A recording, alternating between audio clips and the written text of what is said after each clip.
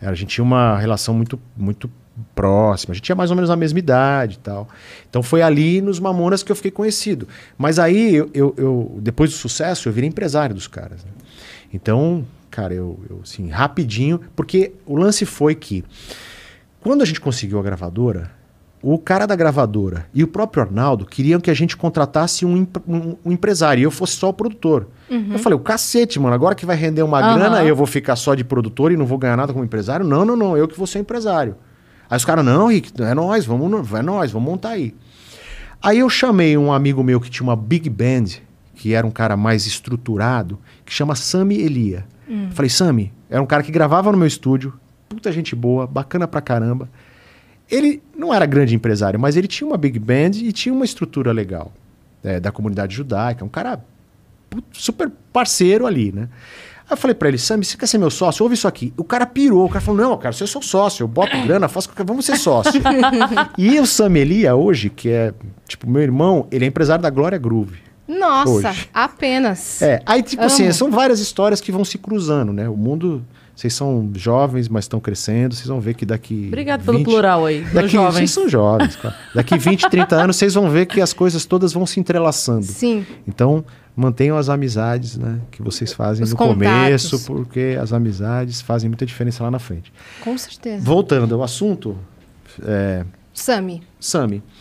Fizemos a sociedade, passamos a empresariar os Mamonas. E eu comecei a vender os shows dos Mamonas, o, o Sami cuidava da logística, o Sami vendia, eu, eu, eu cuidava da parte artística, gravadora, e eu falava, eu cuidava do marketing.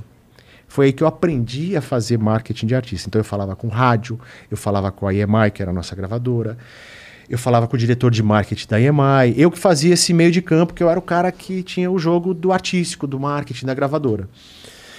Mas, infelizmente, aconteceu o, o acidente, né? Eles faleceram. Sim. E aí, assim, eu do, do, numa semana anterior eu tinha tido uma reunião com o Boni, que é o pai do Boninho, o cara Sim. que mandava na Rede Globo. E depois do acidente deles, eu voltei para estaca zero, né? Tipo, eu teria que começar, eu tinha que começar tudo de novo. Não, uhum. Porque isso também é uma realidade no nosso mundo da música. Eu né? sei que é, todo mundo que viveu esse momento, né, que já tinha ali idade para entender o que eram os Mamonas, né?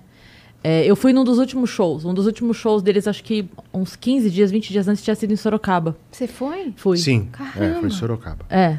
Isso mesmo. E eu tava nesse show.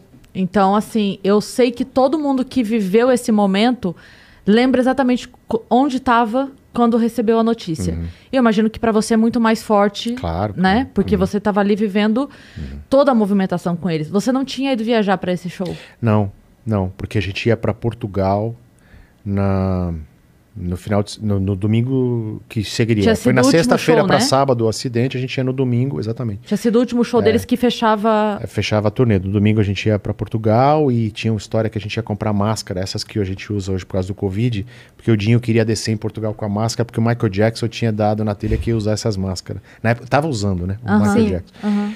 E aí eu não fui, tava super cansado e tal. E aí aconteceu o acidente, foi, foi muito difícil. Você estava em casa né? naquele tava dia? Estava em casa, estava em casa.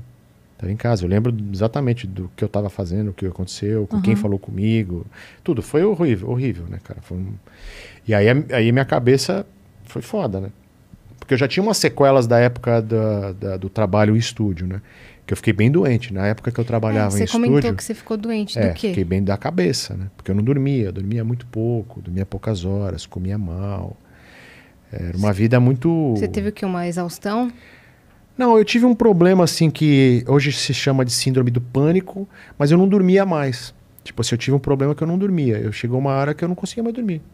Porque tanto que eu não dormia, que o meu corpo desaprendeu a dormir. Eu tenho problema de, de, de, sono até hoje, até. Eu tenho vários, várias sequelas da, dessa coisa louca do trabalho na música, assim, né?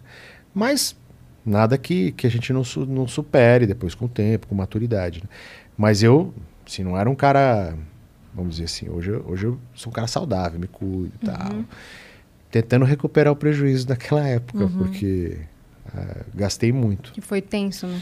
É, aí, aí mamona, aí na época de show, viagem, não sei o que tal. Minha vida sempre foi muito louca. Mas aí teve o acidente, é, e eu, a única coisa que realmente eu lembro é assim, eu, eu ter voltado para estaca zero, entendeu?